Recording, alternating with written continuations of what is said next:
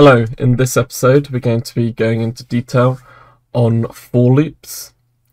Um, I'm assuming you have the knowledge from my previous episodes where I covered data types and that kind of thing. Um, so, firstly, let's write a quick program that's going to check whether a number is equal to 10. So we're defining our number here, and I've got set to 10. Um, and then we're going to do some user input stuff to make this a bit more interesting. So to create an if statement, you write if, and then you write your parentheses. Inside here, we have the condition. So the condition can be x is equal to 10, like so. And this is the equals that's used for comparison in Java. And then we use braces, and inside here is all the code that will be ran if x is equal to 10. So we're going to write x is equal to 10. That's going to be our message if it is equal to 10. Otherwise, we're going to do this else statement. And else statements are called if the if statement is not called. So we're going to have x is not equal to 10. And we need that in quotes because this is because print line's taken a string. And let's try running this. And there we go, x is equal to 10. And that's what we'd expect because x is 10, we've defined it as such. So this returns true. Okay, so now let's um let's add the user input. So to do that, you're going to trust me a bit because um, you don't won't really understand how this code works till much later on. As Java is a difficult language to teach, a lot of concepts kind of have to be used. Uh, harder concepts kind of have to be used earlier on to create interesting applications. So you're going to trust me on this. Um, but this is a scanner object, um, and you'll learn what objects are later. And what what it's what it does is it's as you can see we've got error here, and that's because we need to give the scanner something. I'm going to give it system.in inside these parentheses. And this basically you can read this in English as we've created a scanner which um, scans system.in for new input, and system.in is anything we write in this console down here. And what we're going to do is we're going to set the integer x equal to the next integer that the scanner receives. And now we're going to run our program and give it a go. So what this should do is it means we can set x equal to whatever we want, and then it will run the conditions based on that. So if we write, if we write 11 here and then enter, the scanner receives 11 here, so that means x is 11. And then if and then it runs if x is 10, but x is 11, so it's not this, so it goes in our else block, and then we get x is not equal to 10 which is the output we got. Now, let's say we wanted to check whether x is greater than 10. So, to do that, we use this um, this crocodile uh, bracket symbol, but you, you would have seen this as greater than in maths. Um, and other if, if x is not greater than, than 10, then it runs this code. Now, we have some code. Oops, that's messed up. There we go. Um, now we have some code which is ran if x is greater than 10, and we some other code that's ran for x is less than or equal to 10. So if I write 11, 11 is greater than 10. And if you run it again and I put minus 5, then x is less than or equal to 10.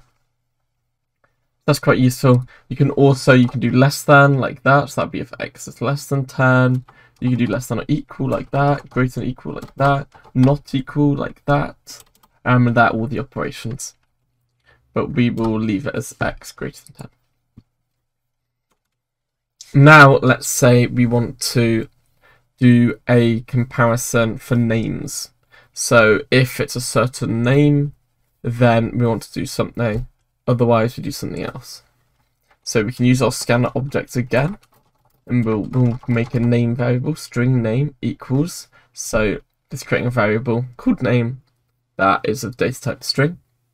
And if you don't know what that means, then watch my previous video. And we'll do scanner.next, and this takes in the next string, and you can see what it returns by hovering over it, and that's what it returns, returns a string. And you've got a little description here, and it returns the next complete token from this scanner. And we'll say if name. So we'll do if their name is equal to Xemor. Um, and you can write your own name if you're following along. Um, to do um, equals comparisons on strings, um, you do not use this. You do not use that. Um, e uh, double equals on objects, which a string is, and objects typically start with a capital letter. That's kind of the, the little clue. When you use two equals, it compares references. So this would be true because these both stored in the same location of memory. But this would not be true as this string was created separately, even if name's contents is Xemor. To compare contents in Java, you use dot equals, like so.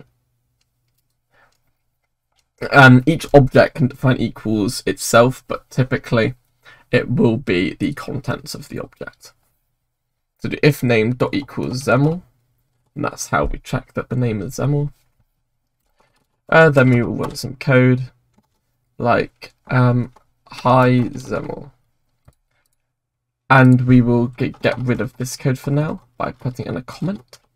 As this means this code will not be run. I can't remember whether I've talked about comments before, but this is how you do a multi-line comment. You do slash start a slash star to start the comment, star slash to end it, and anything between uh, the beginning and end of the comment will not be uh, compiled. It will not be ran as code.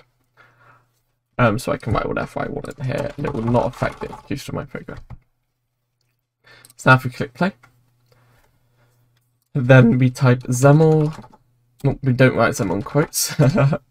we go hi Xemor because name was indeed equal to Xemor. Then we can do an else, which is ran if the name is not Xemor. And we can go Eve. Um, and click play. And we'll say that Dave is an example name, and that goes E.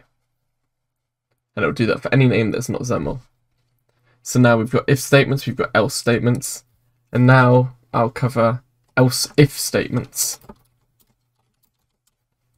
So, uh, it's been a bit weird. So else if statement is if it's not the first if statement, or if it's not the previous else if, then it will run this condition. So we put a condition here, we'll say if the name is equal to Dave, go hi Dave. Um, and this code is only ran if it was not already Xemor. So if we do this, if we click play, we now hit Dave.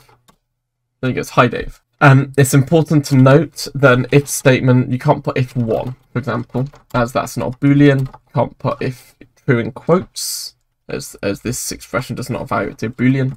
Whatever comes within these parentheses has to evaluate to a boolean. And things you can check something evaluate to a boolean by holding left control and hovering over it.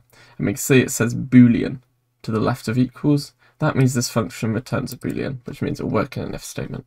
As if true works, but of course, that if true, well, true is always true, so it will always run. And if false, this will never run. As the if statement is always making sure that the condition within its parentheses is true. And that's a quick rundown of if statements and uh, some basic way of doing user input in Java uh, using the terminal. Uh, if you enjoyed this video, hit the like button if it was useful. Um, and if you want to stay a lot, stay for my other content, then you can hit subscribe. Bye!